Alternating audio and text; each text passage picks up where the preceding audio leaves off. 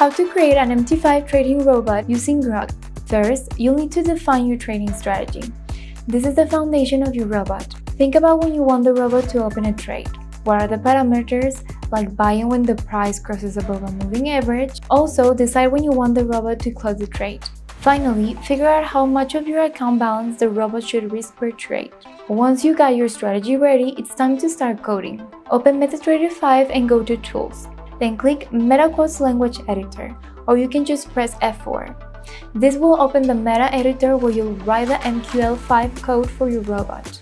And now it's time to ask Grok to help you generate the code. You can simply say something like, Help me create a trading bot for MT5 that follows the moving average crossover strategy.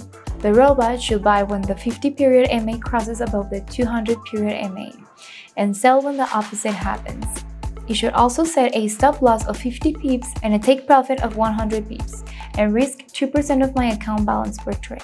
Once Grok gives you the code, save it with the MQ5 file extension. Then restart MT5 and you'll now see the Expert Advisor in the Expert Advisor folder in the Navigator window. Start with a demo account to test it in the market conditions by dragging the Expert Advisor onto the chart of the instrument you want to trade and enable auto trading.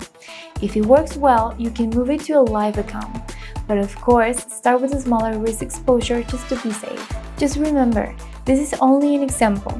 The strategy, the code, and the risk settings are for demonstration purposes only. If you're building your own expert advisor, make sure it's based on your own rules, test it carefully, and align with your trading plan.